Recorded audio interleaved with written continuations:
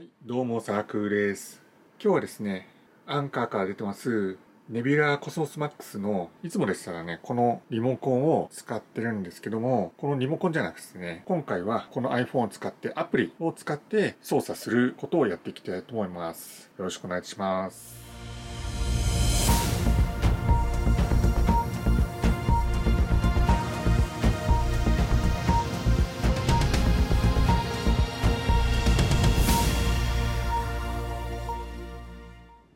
はい、今 Apple Store に来ました。ここでですね、検索でですね、ネビュラコネクトと打っていただいて、検索をかけるとですね、えーネビュラコネクトのアプリが出てきますので、それをインストールしてください。はい、えインストールしたら開きます。そうするとですね、アプリが立ち上がります。まあ、その際ですね、Bluetooth の使用を求めてきますので、それは OK を押してください。あとは、エンドユーザーライセンス契約が書かれてますので、まあ、それを一読していただいて同意するをボタンを押してください。でそうするとですね Nebula シリーズの各プロジェクターが出てくるんですけども今回、えーと私が使用しているのは Cosmos Max ですので、えー Cosmos Max を選びます。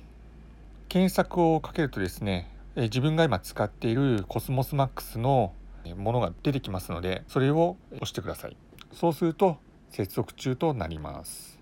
はい。こちらがネビュラコネクトのアプリの画面になります。まず左上のヘッドセットのボタンなんですがこちらに関してはフィードバックとか何かしらそのヘルプが必要な時に押すボタンになります、まあ、基本的には何かトラブルがある時に押していただければと思います。で続いて右上にあるプラスボタン。ここを押すとですね機器の選択バージョン情報あとはフォーラムとかリファーラルとかそういう風なものが選択できます。機器の選択というのは今自分がつないでいる機器以外も他にも機器を選択し直したい場合はここからまた選んでいただくという形になります。でバージョン情報ですけども今はですね、えバージョン3.2.1のネビューラコネクトのアプリが入ってるんですけども、まあ、最新の確認を押していただいて、まあ、最新バージョンかどうか、まあ、確認していただければいいかと思います。ま、ここにもですね、えーと電子メールやカスタマーサービスがありますので、ま、ここからでもあのメールを送ったり、え電話をかけたりすることが可能です。では早速ですけども、え操作について、え説明していきたいと思います。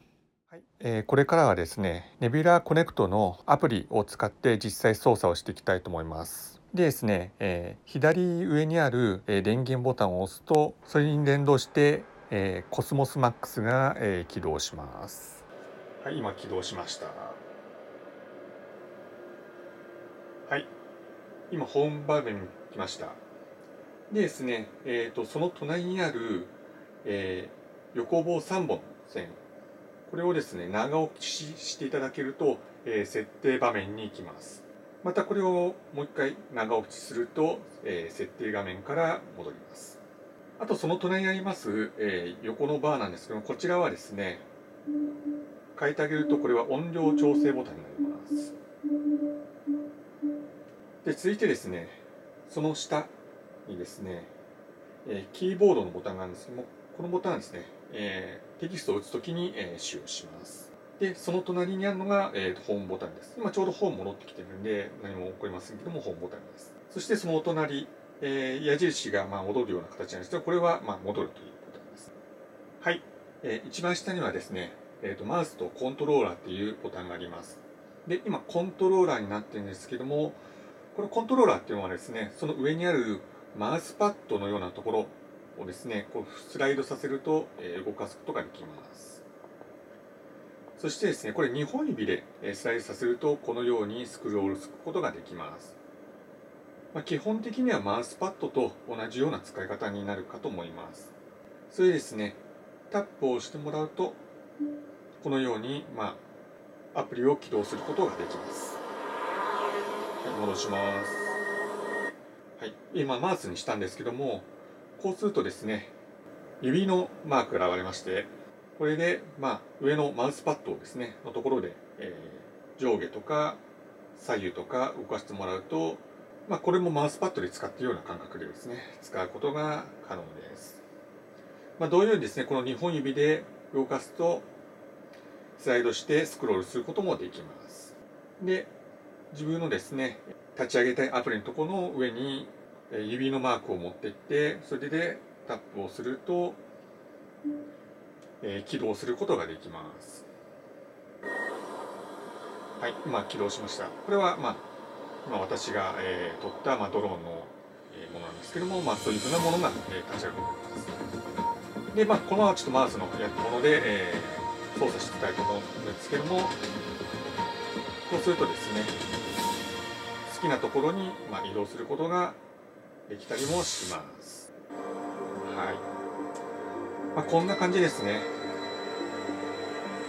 いろんな操作がすることが可能です。はいホームボタンに戻ります。え以上がネビュラーコテネクトの操作方法になります。終了したかったらまた、えー、左上にある電源ボタンを押してもらうと戻ることが可能です。はいいかがだったでしょうか。今回ですね、いつもですね、このようなですね、えっ、ー、と、リモコンをですね、使ってるんですけども、このリモコンではなくてですね、まあ、iPhone ですね。今回私はあの iPhone 持ってたんで、iPhone を使った、まあ、アプリの、えー、検証を行ってみました。普段ですね、えー、私の動画では、えー、ガジェットの紹介や、あとはドローンを上げてますので、そのドローンの空撮映像とかをアップしてたりします。えー、ドローンの動画に関しては、まあ、100本以上上げてますんで、ぜひそちらの方も見ていただければ幸いです。もし、えー、よろしければ、えー、高評価ボタン、えチャンネル登録の方よろしくお願いいたします。また、え何か、え質問とか疑問等がありましたら、コメント欄の方に投稿していただければと思います。今日はご視聴ありがとうございました。以上、サラクルでした。さよなら。